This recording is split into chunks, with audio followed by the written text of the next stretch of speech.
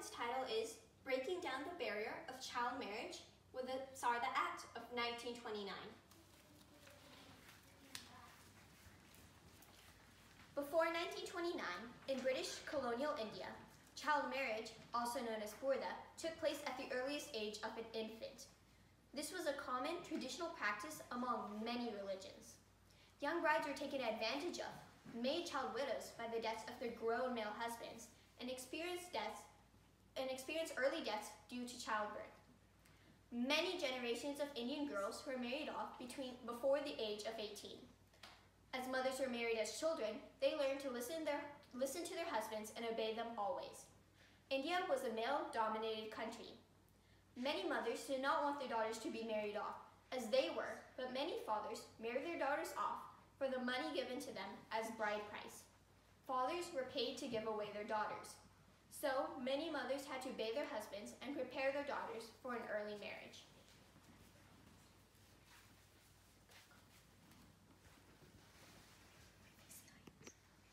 Mom, I don't want to go. I want to stay here. I know, we have already had this conversation already. But your father's set the marriage and been paid the bride price.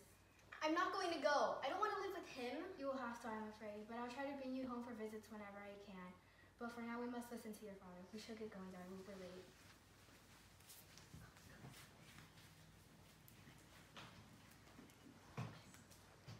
In 1927, tides turned the toll with child marriage. An Indian judge by the name of Rao Sahib Sarda wrote the Child Marriage Act, or the Sarda Act, a stepping stone that broke the barrier of child marriage.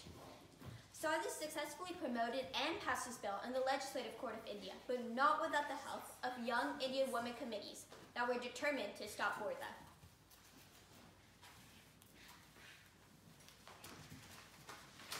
It's Finally, this document, the Child Marriage Restraint Act, will help end the evils of Porda and help all youth, even girls, to get an education and live a life without fear of early widowhood and death.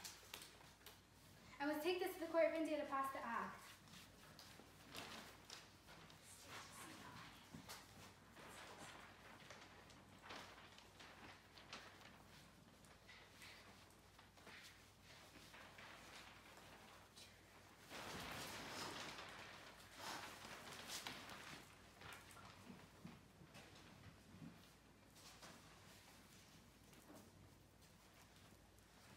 One of the Young Indian Women Committee groups that helped Sarda and his campaign was called the All Indian Women's Committee, or the AIWC. The AIWC was headed by an Irish woman named Margaret Cousins. Cousins moved to India from London in 1915 with her husband James, as he worked for the newspaper New India. When Cousins lived in London, she was a suffragist and campaigned tirelessly for women's rights. After her Cousins began a women's league, now known as the AIWC, where she shared her passion for women's rights. Cousins was concerned about the continual child marriage in India at that time. In 1921, over 10 million girls were married off between the ages 10 and 15. To Cousins, this was completely unacceptable.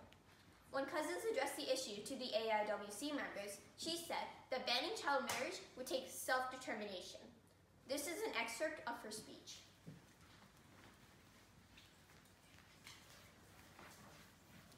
Religion, education, patriotism, and love are the four liberators of women.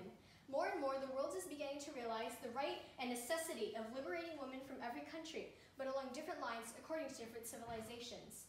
Child marriage is unknown to the British.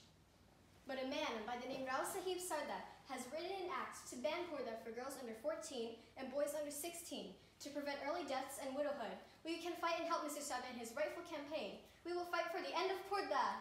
Yes, yes.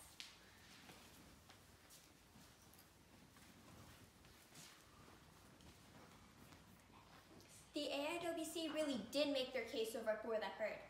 They rallied against political opponents and screamed insults at them like, if you oppose this bill, bill, the world will laugh at you. The AIWC used this to make the opposition feel ashamed and wonder how they would be viewed by the world. Besides this, the AIWC took to the places where child marriage occurred most often, rural Indian homes, to convince rural families that the practice they had adopted to was inhumane. The AIWC created pamphlets and flyers and distributed them to the people. While trying to convince families of their traditional, though backward thinking, the AIWC hosted meetings, gathered more supporters by hosting meetings for their own group and for SARDA support.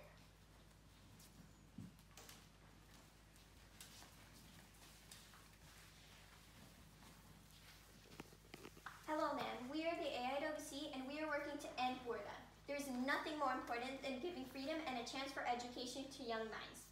If you would like to read about this, we create pamphlets that express your views, and you are welcome to take one. Hello, ma'am. The AIWC and Advocate Group for Women's Rights are trying to gather support us for our fight against Purda. Would you like to read the pamphlet and possibly join?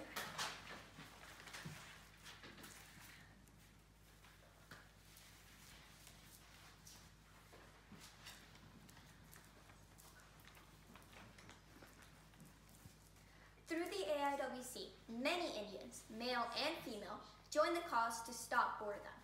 As support for SARDA grew, the AIWC decided to take it a step further.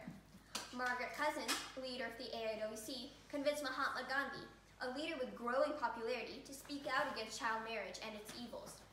This is an excerpt of his speech.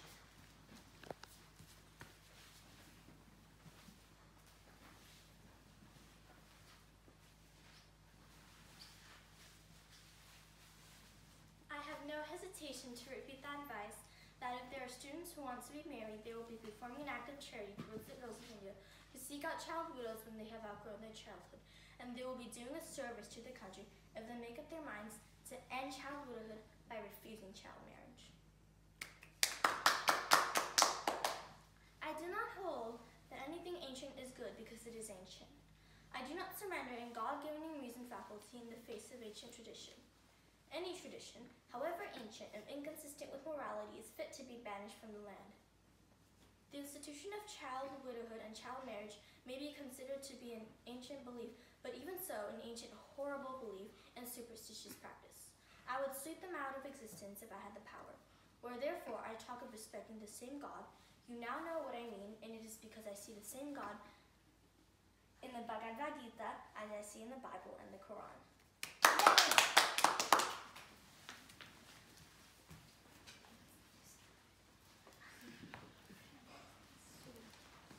Another young women committee group was called the Women's Indian Association, or the WIA. The WIA owned a newspaper called Sri Dharma, where they expressed their views from Porda to women's rights. They too supported Sarda's bill and tried to gather supporters. Margaret Cousins, leader of the AIWC, was also the editor for Sri Dharma. Through Dharma, the AIWC through Dharma, the WIA collected many more supporters.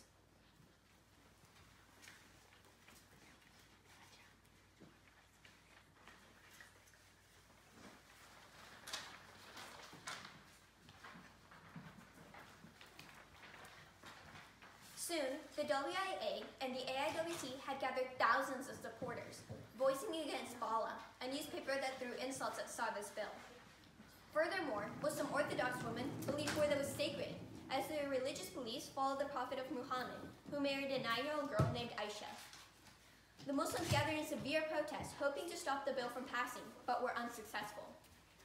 The women's group's efforts paid off, as in 19, as, Sar, as Sarda's bill became an official act on the 20th of September 1929, preventing all children from the shackles of marrying young.